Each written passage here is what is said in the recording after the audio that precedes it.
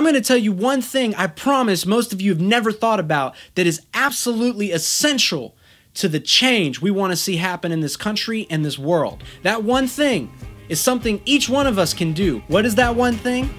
Hospitality.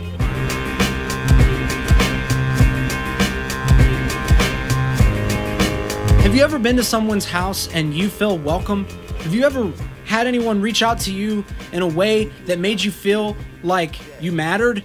Have you ever been around a person that made you feel like they cared about who you were and what you had to say and where you've been? That's hospitality.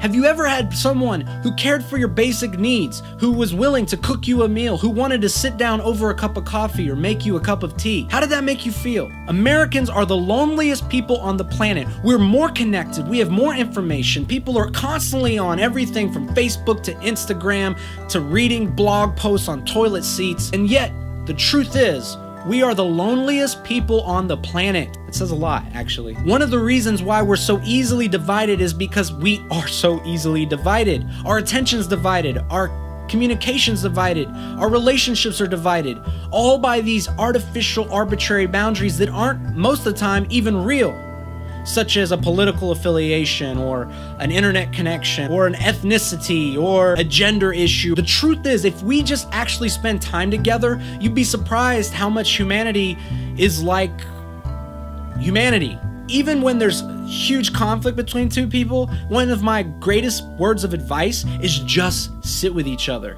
You'd be surprised what happens when you meet face to face, and one of you has to have the guts to do it. That's a video about conflict resolution. That's to come later. But we have to get to the place where we actually are able to have a genuine conversation, to look at another human being, and be able to get past the telephone screen in order to start realizing that we are real people and have a connection where genuine smiles are exchanged, where someone says, says to another human being, Can I get you something?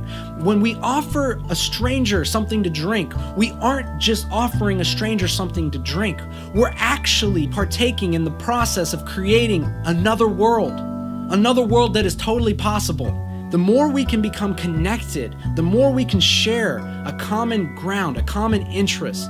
And the more we share that common interest, the more we are able to be empowered to act in concert together creatively, not in a way that's from the top down, but from the bottom up. It actually might be painful at first for you to like think of someone else. But you know what?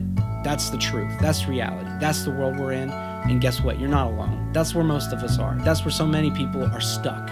The only way we're going to get out of that is if we choose to take a step. So choose to take a step.